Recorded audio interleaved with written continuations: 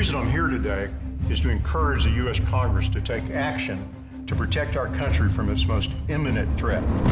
Electricity would cease, the internet would go down, and the banking system. The smokescreen of national security used by government at every level. A strong America is the only thing standing in the way. Country only needs a little chaos. We have a fog that has descended on our entire nation. Hello, Mr. President. Now is the time. The average American family only has three days of food. We need to talk face to face. This is important. Sir, what's the mission? Disarm the population and restore order. Have any weapons inside your home or on your person? You had to give the president power to arrest any American by simply accusing them of terrorism. The vanity of nationalism will quickly fade.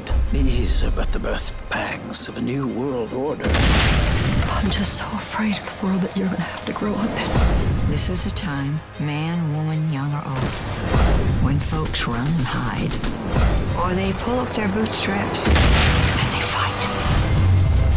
When you sell your soul, it's a one-time thing. There's no going back. Die Hard originated from the failed script of Commando 2. For this and more movie facts, click on more videos. But if you want something else, uh, click on the playlist.